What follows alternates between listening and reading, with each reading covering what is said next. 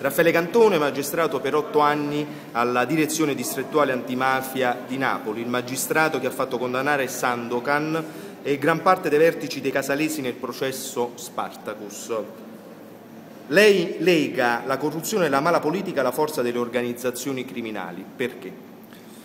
Io leggo anche la corruzione e la mala politica alla forza delle organizzazioni criminali. Ovviamente non dico affatto che la corruzione sia collegata soltanto a questo fenomeno, dico, faccio un discorso opposto, cioè dico che dove le pubbliche amministrazioni sono caratterizzate da fenomeni di malaffare, di corruzione, la criminalità organizzata è quella che ha maggiori strumenti per approfittare perché oltre ad avere grosse disponibilità di somme di denaro ha anche in più qualcos'altro, cioè la capacità di intervenire attraverso la forza di intimidazione e la violenza.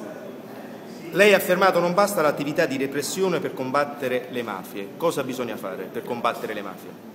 Io credo che non basti l'attività di repressione ed è dimostrato da quello che sta avvenendo in questo periodo. Se in questo periodo ci sono stati risultati eccezionali nelle lotte alle mafie dal punto di vista repressivo, abbiamo tutti però, soprattutto i cittadini meridionali, la consapevolezza che il fenomeno non è vinto ed è la dimostrazione che da sola l'attività repressiva non, basta.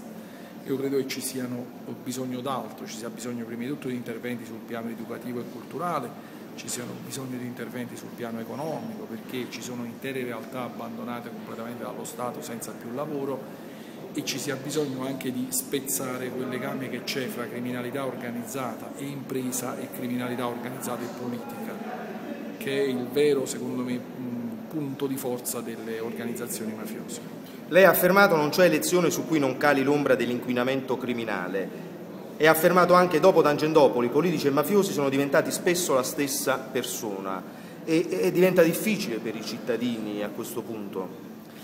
Ma io diciamo ovviamente quando faccio questo discorso ho fatto un discorso in un contesto che ovviamente è soprattutto un contesto meridionale e dico che purtroppo nelle indagini fatte c'è sempre il tentativo della criminalità organizzata di inserirsi e insinuarsi e di cercare di eh, spostare il pendolo da un lato piuttosto che dall'altro e questo lo dico soprattutto con riferimento alle elezioni locali che sono quelle di maggiore interesse della criminalità organizzata.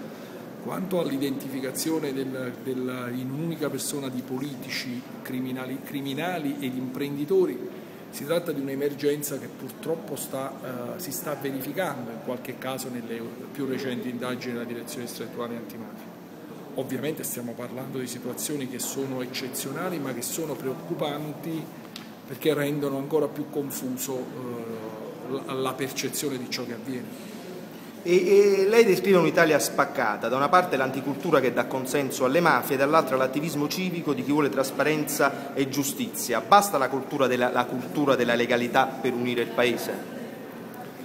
Ma se ci fosse una cultura della legalità che si, attua, si è presente in tutto il paese secondo me sarebbe un buon collante, sicuramente non basta ma sarebbe un buon collante. C'è un dato che purtroppo questa cultura della legalità non c'è.